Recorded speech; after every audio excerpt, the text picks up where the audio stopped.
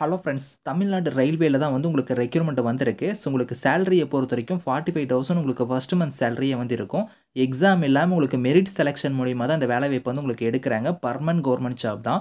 So கல்வி தகுதி வந்து நீங்கள் டென்த்து பாஸ் பண்ணுவீங்க. டுவெல்த்து ஐடிஐ டிகிரின்னு வந்து உங்களுக்கு குவாலிஃபிகேஷன் அந்த மாதிரி போஸ்டிங்ஸ் இருக்குது ஸோ லாஸ்ட் டேட்டை பொறுத்த வரைக்கும் நைன்த்து டிசம்பர் வரைக்கும் நீங்கள் வந்து அப்ளை பண்ணிக்கலாம். இப்போ அந்த வேலைக்கான நோட்டிஃபிகேஷன் டீட்டெயில்ஸ் நம்ம பார்க்கலாம்.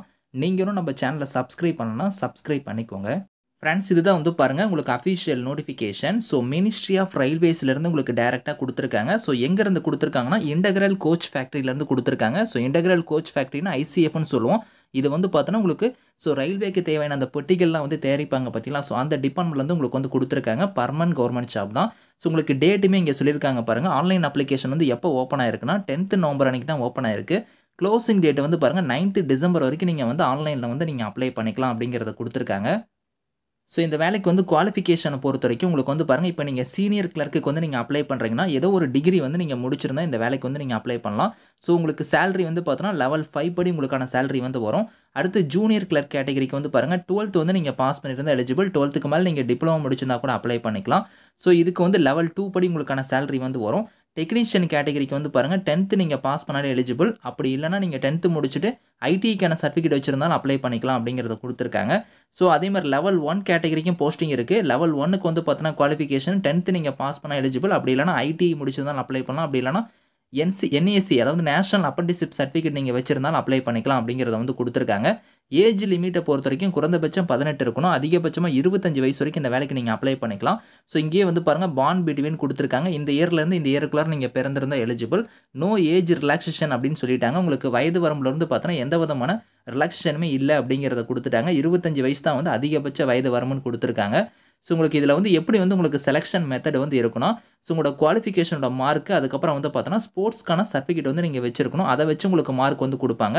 ஸோ அது வந்து பாருங்கள் எந்தெந்த லெவல் வரையும் உங்களுக்கு வந்து எந்தெந்த ஸ்போர்ட்ஸில் வந்து நீங்கள் வந்து பார்த்தோன்னா சர்டிஃபிகேட் வச்சிருக்கணும் அப்படிங்கிறத வந்து உங்களுக்கு வந்து கேட்டகரி வைஸாக இங்கே பிரித்து கொடுத்துருக்காங்க. நீங்கள் வந்து டீட்டெயிலாக செக் பண்ணி பார்த்துக்கோங்க ஸோ இதுலேயே வந்து பாருங்கள் உங்களுக்கு கீழேயே வந்து இந்த இடத்துல உங்களுக்கு வந்து எப்படி வந்து செலெக்ஷன் இருக்கும் அப்படிங்கிறத வந்து பாருங்கள் இந்த இடத்துல கொடுத்துருக்காங்க வெயிட்டேஜ் ஆஃப் மார்க்கு ஸோ அதாவது பார்த்தோன்னா ஃபஸ்ட்டு வந்து பார்த்தோன்னா உங்களுக்கு ஸ்போர்ட்ஸோட அச்சீவ்மெண்ட்டுக்கு வந்து ஒரு ஐம்பது மார்க் வந்து தராங்க.